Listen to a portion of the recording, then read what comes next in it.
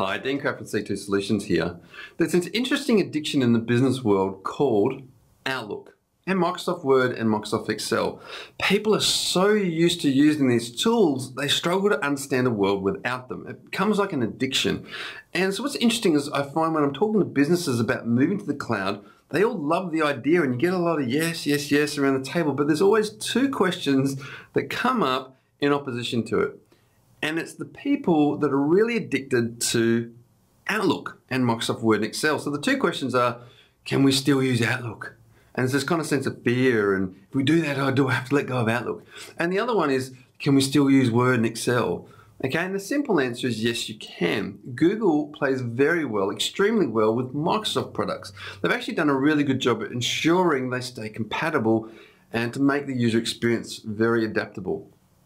So what's interesting is once I move businesses over to Google, I find there's a common trend of people, people then start to shift away from the Microsoft products and use it once they get over their fear. So, and there's three reasons I see this occur. One of, one of the ones is um, Google. When uh, uh, in Gmail, the search is so powerful that it becomes very easy to find things. So it's interesting. Just yesterday, I walked into a client's uh, we had migrated them. It's a law firm. We'd migrated them a month ago. One of the biggest Outlook advocates in the office was very scared about moving away from it. When I walked in, lo and behold, she was using Gmail. so I had a laugh and kind of said to her, why are you using it? She said, it's just easier. She goes, it's faster. She goes, I can find things so much faster now. I just do a quick search. She goes, I don't have to file things all the time anymore. Like, so with Outlook, she used to have to file things to find them. She goes, I can just get in there and search on the email address and the keyword and bang, I found what I need to. And she said the other reason is because it's faster. She goes, we used to have problems with all our large documents going around being a law firm. Uh, Outlook would freeze up when trying to use it. With Gmail, it just works and we can just get on with our jobs because it's just overcome this hurdle we've struggled with or just lived with for the last couple of years. So it's really encouraging to hear them do that. But I see I see that transition happening all the time. People once they start using it, get get used to Gmail and realize there's big benefits over Outlook. The other thing, and what people love it, is the um, the remote accessibility, being able to use it anywhere. So being able to use it in the office and then go home and use it or get on their phone. It was typically Outlook and it's it's on that PC, and if that PC crashes, you've got a problem, or you need to take that with you. Uh, you know, you can't move to the next desk if there's extra people come to the office. It doesn't allow that sense, sense of flexibility. With Outlook, you just log into the uh, sorry with Google, you just log into the browser and you've got it straight away, and so it really allows remote workability. Um, but the other benefit that comes out of it is the sense of collaboration. And people go, I hear people all the time going, oh, I don't need that collaboration stuff. I, we've worked for years in our office with Microsoft Word, Excel. Why would we need collaboration? So it's quite a, a bit of a throwaway. But what's interesting is I liken it to the microwave oven people years ago would go, oh, I've cooked for years in my home. I've got a stove. It's no problem. I can cook. Why would I need a microwave oven? Until they started using one. Now, if you look around now, pretty much every home in the world has a microwave oven because you realize there's uses and benefits and a lot more flexibility that comes out of using it. And Google is just like that.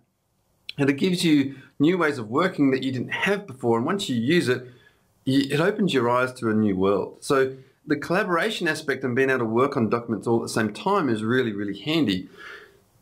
But you can still work with Microsoft Documents. So this is the third thing. If you want to work with Microsoft Documents and put them into the Google Drive, you can.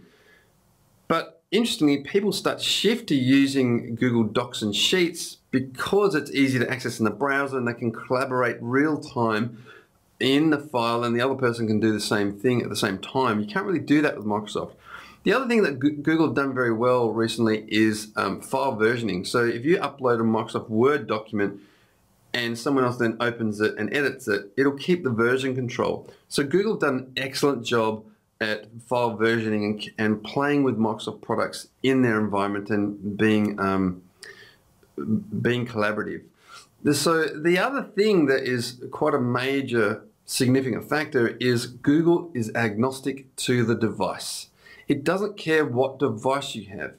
Okay, so people are like, oh, I like my Mac and uh, I want to stick with that. Google will work on all of them. Whereas if you're Microsoft, you have to pray to the Microsoft gods. You, you have one religion and that's Microsoft and everything you do is Microsoft and PC. If you're on a Mac, you're on Mac and the iPhone, and the best way to get it is to stay with Mac. Was Google works on all of them. It doesn't care what device you've got.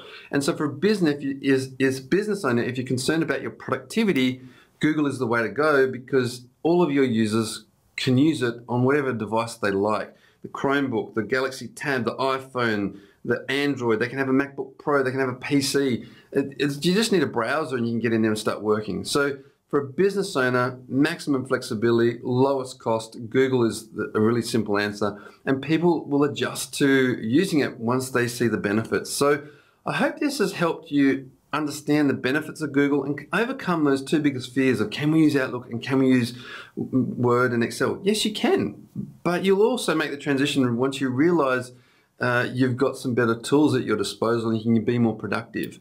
So I hope that helped answer some of your questions and get over the addiction. For the Outlook addicts in the office, you can still use your Outlook if you move to Google, okay? They make some great tools to help that occur. If you have any other questions, feel free to call us. We'd love to help you make the transition to the cloud. Look forward to speaking with you soon.